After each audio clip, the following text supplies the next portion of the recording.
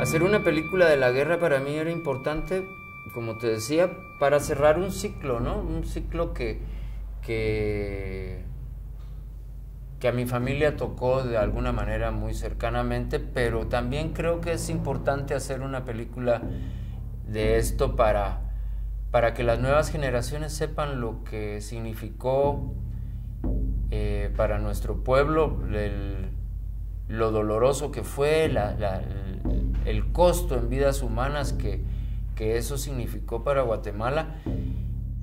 Nos acabamos de enterar que masacraron la Esperanza. Acaba de llegar un sobreviviente que tiene tres días de andar huyendo en la montaña y dice que nada quedó vivo y que ahora los pintos vienen para acá. Cuando empezamos a hablar de este tema en cualquier reunión, en cualquier lugar, creo que eh, la gente eh, se siente un poco incómoda, de repente que eh, prefieren no hablar del tema.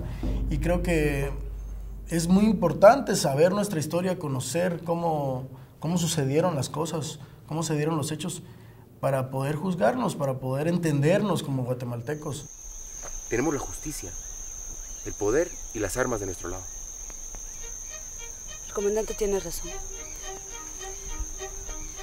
Si nacimos para morir, nada mejor que morir defendiendo a nuestra gente.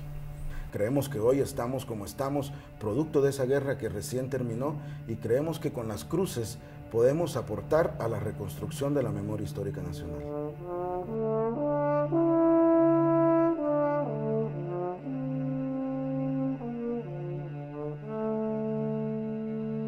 El público puede esperar entretenerse, divertirse y sufrir y llorar y, y emocionarse por una película que, le toca directamente eh, a su pasado más reciente.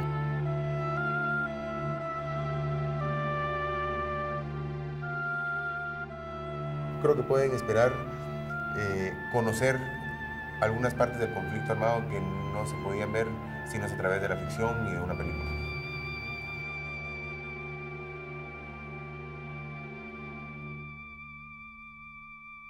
Fue un reto que, que todos disfrutamos mucho, pero que al final pues tuvo su recompensa, su, su fruto, ¿no?